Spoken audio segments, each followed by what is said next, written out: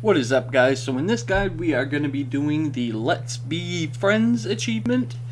And for completing this achievement you will get this cute little bumblebee pet. But before we get into all that, please like this video and subscribe. Hit that little bell notification so that way when new content like this comes out, you will be notified. Alright, let's get into it. Alright, so to unlock this quest chain, you have to come here in Stormsong Valley. Once in this area, you will have to kill the yellow blobs, known as flowing honey. This is a great spot because you can pull them in and AoE them down pretty quickly. While fighting these NPCs, they will drop pools on the ground. Um, don't stand in it, it hurts. What you need to do is kill as many of these as you need to for the annealed honey amulet to drop. Once you have that, we will head off to Boralus to give it to an NPC that it belongs to.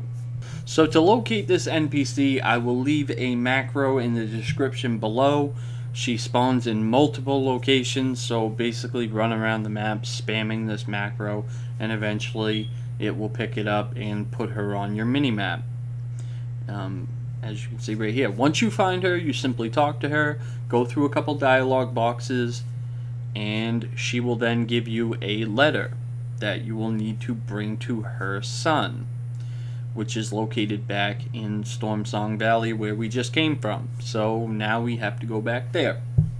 If you have not yet done the quest line in Stormsong Valley, you will find him here on the map. He will be inside the basement, right down in here. If you did the quest line for Stormsong Valley, you will be able to find him standing outside a house just off the flight path. Um, very easy to find. And you can pick up the daily from either location. Um, they both will drop it. So once you locate him, you give him the note. He will give you a quest line that you will have to go out and complete.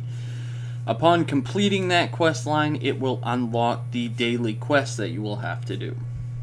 You will need to complete this daily seven times, and once you do so, you will receive the achievement Let's Bee Friends, and the pet will be put into your bag.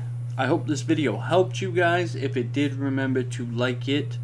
If you haven't already, please subscribe and hit the little bell notification so that way when content like this is uploaded, you are notified. And thank you guys so much for watching. Alright, bye-bye.